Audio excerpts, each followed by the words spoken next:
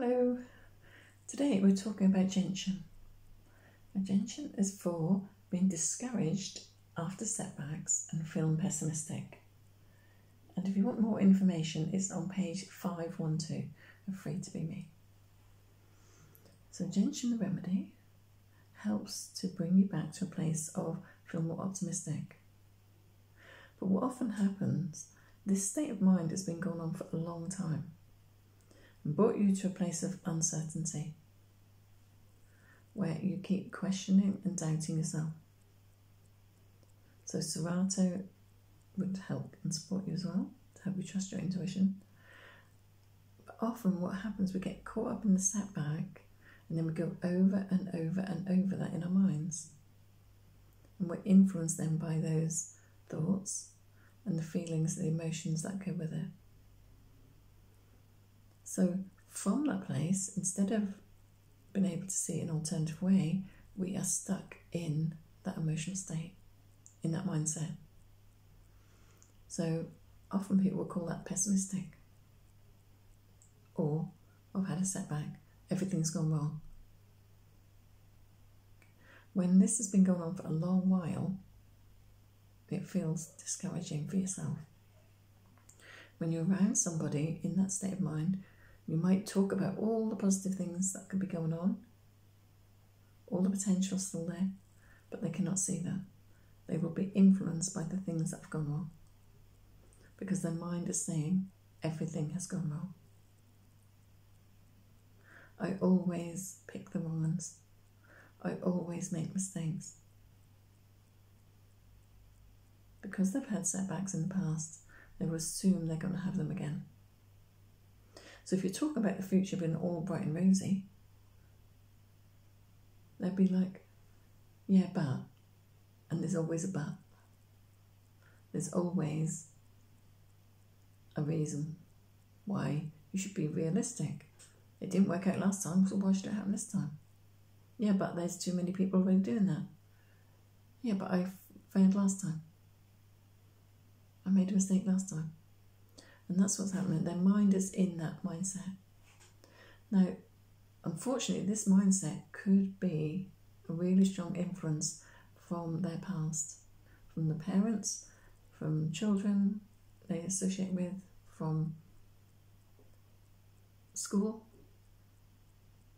What's happened has become their way of being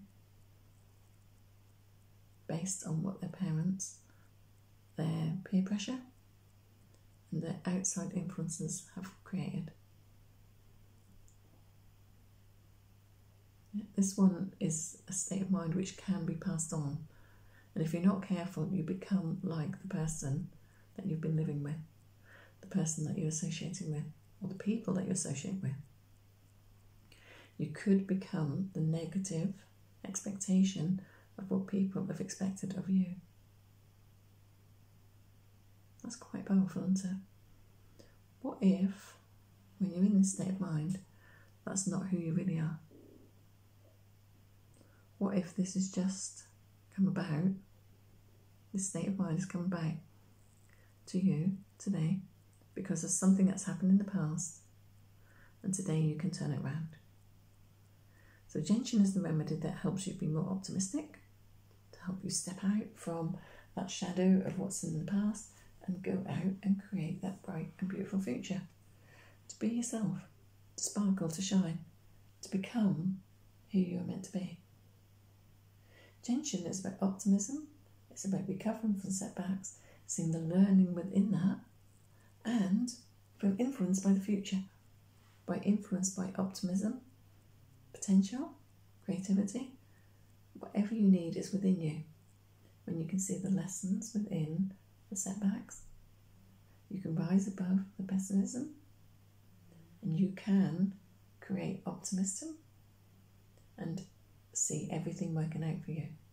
So maybe your affirmation could be I'm feeling optimistic and everything is working out for me today. And when you go into that mindset, guess what happens? You start attracting towards you everything that makes you feel sparkly inside, everything that makes you feel brighter, everything that makes you happy. Remember, they're not coming from outside. This is a reflection of what's come from inside. Because you've ex- start to expect the best, that's what you attract towards you. And the gentian is a brilliant remedy to help you get from that I can't see a way forward, I feel stuck in my setbacks, to I feel more optimistic now. Yeah. If you know someone who's pessimistic or always going on about what's gone wrong, gentian is the remedy for them. Alright, it could be smaller things like I just didn't get my spellings today, to loss of a job, a relationship gone well, or even on a bigger level, overcoming other people's expectations of you. Alright, you can do it.